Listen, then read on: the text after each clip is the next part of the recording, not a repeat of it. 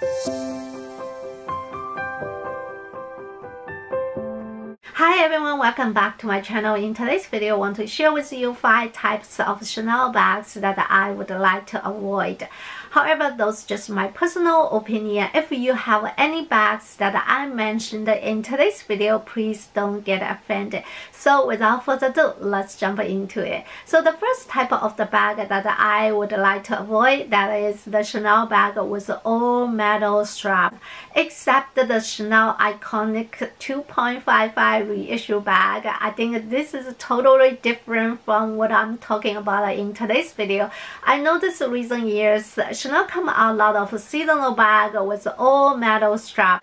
From my personal opinion, I feel it's just missing something. It lost the Chanel bag aesthetic. Personally, I prefer the leather woven chain strap instead of the all metal strap. I feel it uh, looks more classic, more like a Chanel bag. What do you guys think? I think one of the reason people like this type of the strap because recent years they do come out adjustable buckle to adjust the chain shorter or longer whenever you like it. And uh, sometimes they will make the chain very special, adding some more design on the chain to attract more people to buying their bag. I think those are the reasons that people like all metal strap. Number two type of the bag I would like to avoid is that any Chanel bag with the enamel turn lock instead of the all metal turn lock which is just upset from the first one. Yes, they are beautiful, but for my personal opinion, I do feel it's a little bit of cheap look. So therefore, I try to avoid this type of the bag. And I also noticed that recent years, Chanel come out a lot of the bag with this type of the turn lock instead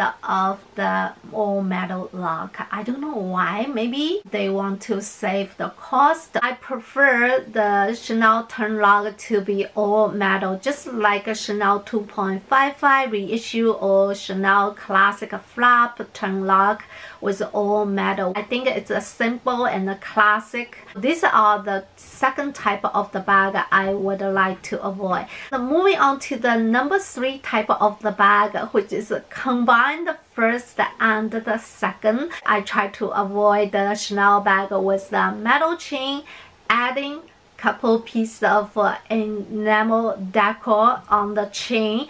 Sometimes I just feel what a waste because this kind of bag it looks very cheap so lost the aesthetic of the Chanel bag sometimes I feel this type of the bag looks very childish think about it when I turn the 50, 60, I still will wear this type of the bag? Probably not, right? So this type of the bag I also want to avoid.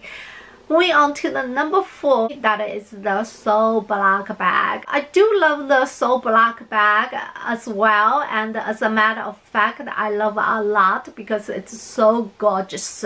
I just like the simple and the one color. However, I think about myself, I'm not a careful person. I will get a scratch very bad on the chin on the lock. So once you get a scratch on So Black hardware, it will be be very obviously compared with the regular hardware like vintage or even the shiny hardware. And the other reason is the So Black bag normally costs a little bit more than the regular hardware. I don't really know why it is. That's also the second reason that I would choose the regular hardware instead. Moving on to the last, we'll summarize them all. That is the bag I try to avoid. It's made by the fabric, including the tweed material and the velvet material. Compare with the leather, they may cheap like a couple hundred dollars, but for the wear and tear, it will be big difference. Chanel bag made by fabric showing the wear and tear a lot quicker than the leather version. I used to be very afraid of the lambskin leather. Many years ago, I would style myself, well, never ever buy a lambskin leather bag from Chanel because they are very delicate and easy to get a scratch. After a couple bags I purchased with a lambskin leather, I kind of love the lambskin as well.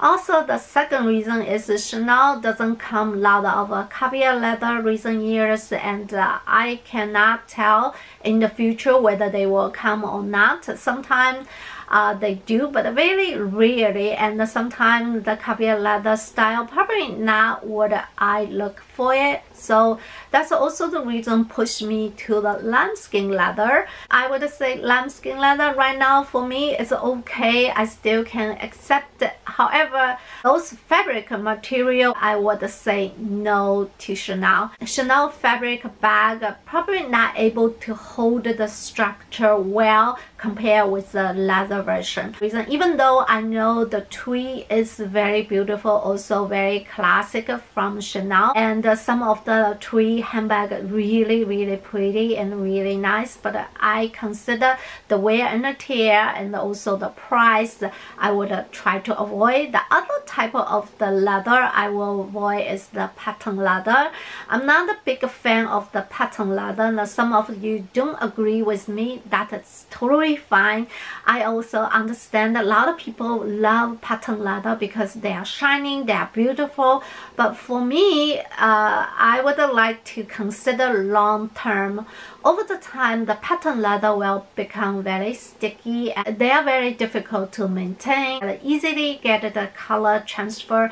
There's a lot of disadvantage of the pattern leather. I would not prefer the pattern leather. The third thing is for the pattern leather is they do look a little bit cheaper compared with the lambskin or caviar leather. You can leave a comment below disagree what I said but this is just my personal opinion. Other than that of course very trendy bags such as the heart shape bag or other shape like a holiday bag I will totally avoid it because this kind of bag you really able to wear them and uh, I feel still as not very uh, classic one I know the heart-shaped bag is very popular at one period of the time, but I don't know how long it's going to last. So those kind of type of the bags I would like to avoid. Lastly, I would say because Chanel bags are very expensive,